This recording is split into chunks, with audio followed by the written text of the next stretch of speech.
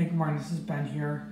Um, hope you're having. Hope you had a good night last night. I had kind of a rough night last night because my girlfriend Becky was having a rough night dealing with some stuff, and um, and the, um, and it feels like the stressor is that um, is that I had to witness some things that I cannot uh, say for privacy reasons.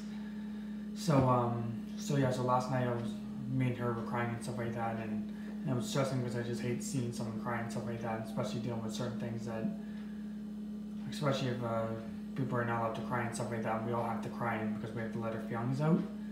So that's what really got me got me crying last night. So just wanted to let you know that's kind of the stressor, and uh, and yeah, even sometimes it feels like it takes it takes away takes away um, takes away uh, the joy that, that I do have in life. But sometimes life can be hard sometimes, and it happens. So uh, love you all, and I love my girlfriend Becky, and uh, and uh, and yeah. So hope you have a good day, and uh, I'll be going to work soon too. So so even sometimes even at work, sometimes I have too much things on the go and stuff like that, especially with my ADHD.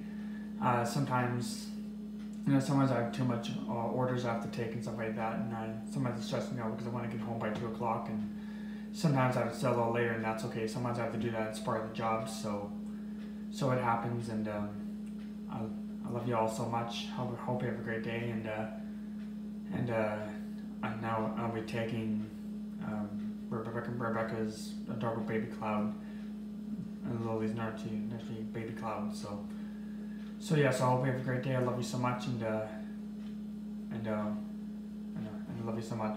See ya.